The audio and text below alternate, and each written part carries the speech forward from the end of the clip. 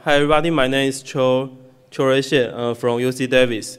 So today I'm going to present uh, our recent work on applying gradient boosting decision tree uh, for extreme classification. This is joint work with uh, Si Si, Inderjit Dhillon, Keerthi, and uh, Dhruv.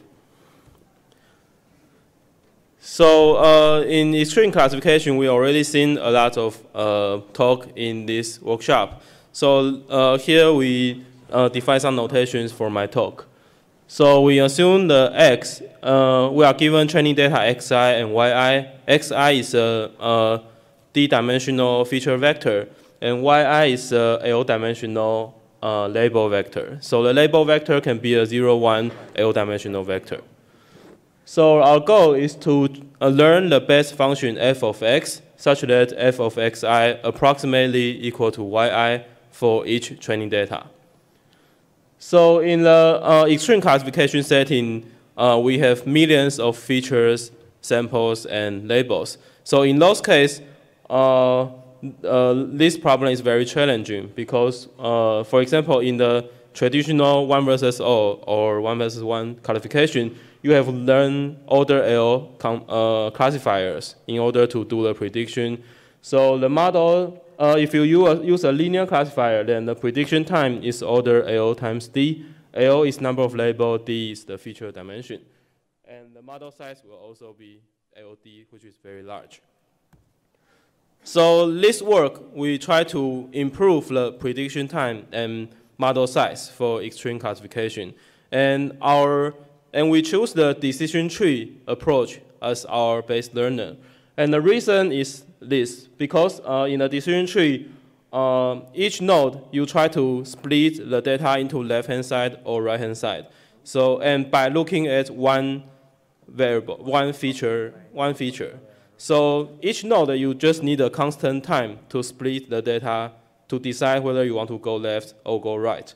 And, uh, in, and in the end, you are, if you build a list decision tree, uh, what's the prediction time? So if a training, if a testing data, if we get a testing data, then you just go through each node in the tree uh, to the leaf. So if the tree height is p, the prediction time is order p, uh, and it's inde independent to dimensionality and feature space, uh, enable space.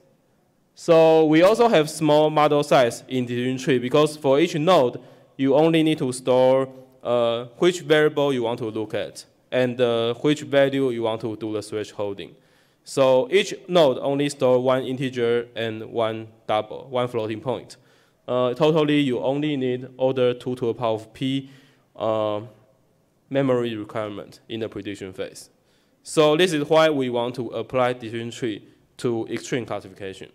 Okay, so um, so we choose decision tree to be our base learner. And uh, Actually, Manik also did this before. So FastXML is another decision-based, decision tree-based extreme classification algorithm. And uh, in FastXML, they choose to use the random forest approach, which means you try to learn uh, maybe 100 decision trees independently, and then average the result to give the prediction. So in this case, they will need a lot of trees because each tree is built independently, and uh, uh, yeah, the models are redundant in this case. So we try to apply a gradient boosting decision tree algorithm to solve this problem. We try to use this to reduce the number of trees in the algorithm. So let's give uh, some background about gradient boosting decision tree. Uh, in this algorithm, you try to learn an ensemble of trees. So you try to, we define uh, small f to be the uh, base learner. Each one is a decision tree. And capital F is the combination of uh, F1 plus F2 to Fm. So our, our goal is to obtain the ensemble tree F, capital F by minimizing the loss on defined on training data.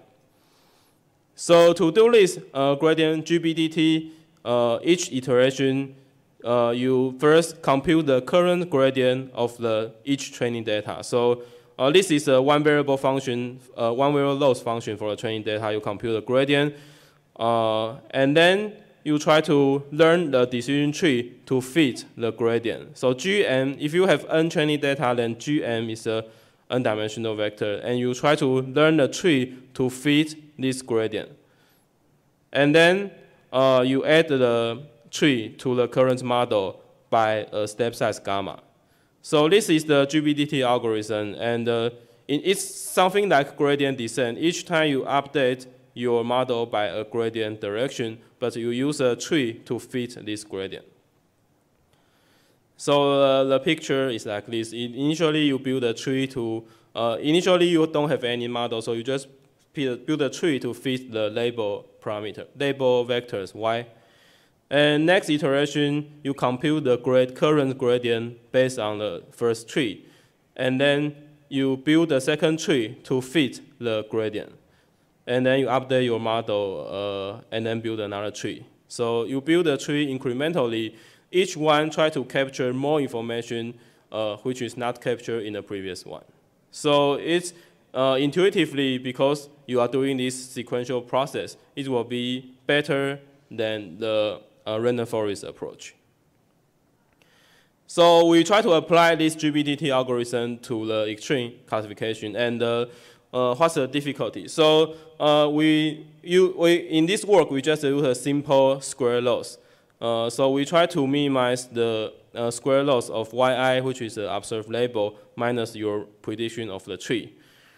So um, the, the problem is the L is very large, number of label is very large. So Y is a very large 1 million dimensional vector. In this case, you have slow training prediction time and huge model size and unbalanced decision tree, as I will mention in the following. So in the first two challenges, slow uh, training and prediction time and large model size is because in the because your tree want to output the label vector for training data. So each output of the leaf node should be a L-dimensional vector. Uh, so if each one you store an L dimensional vector, uh, then uh, you have prediction times order L because after you go into the leaf, you need to go through this L-dimensional vector. And the model size is order L times number of nodes in uh, number of leaves in a tree, which is very large.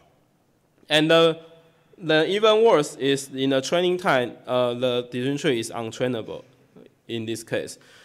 Because as I mentioned before, after, uh, after training the first tree, you have to compute the gradient.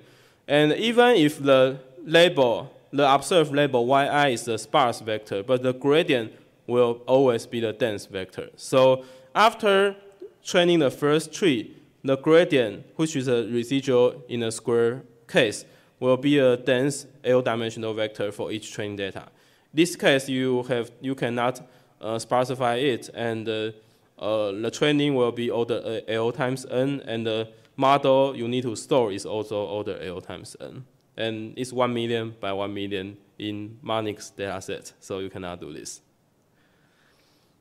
So the, our solution is very simple. We try to enforce, the intuition is that because the goal is to predict the top K labels for each data. We are not going to say uh, it, for each data it will only uh, be belong to maybe 10 or 100 labels. It will not belong to 1 million labels. So for each leaf, we only try to we try to enforce the sparsity of the output.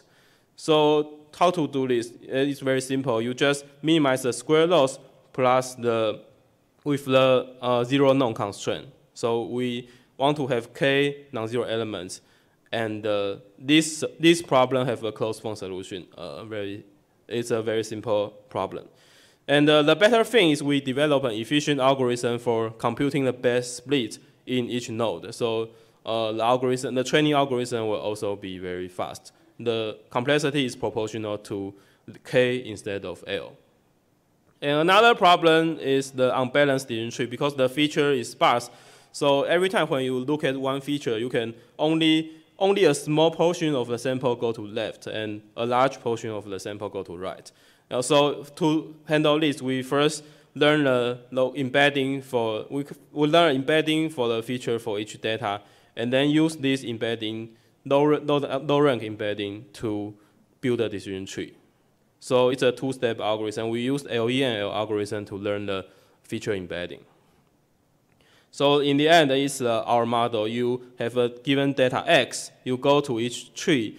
Uh, you traverse the tree. Each one, you just look at one variable. You go left or go right. And in the end, you have a k-dimensional sparse, uh, L-dimensional vector, but it's k-sparse. And you combine all these results to get a prediction.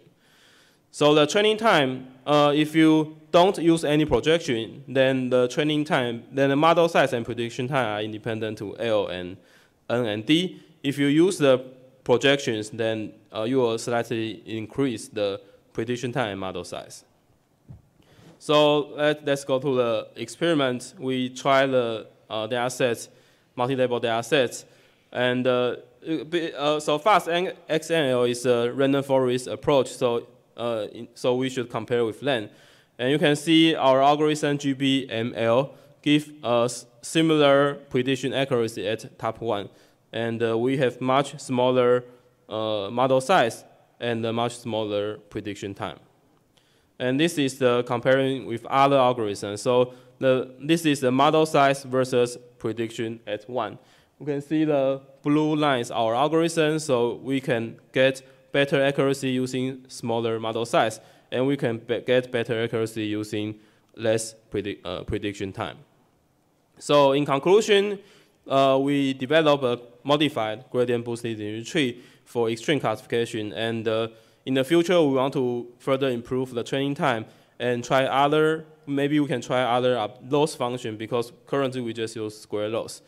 And then we also, uh, so as I mentioned in the first step, we use LEML to get the low dimensional feature embedding. So for less step, we may use other algorithm to learn better embedding uh, for the GBDT algorithm. Okay, thank you very much. Thank you, Joe.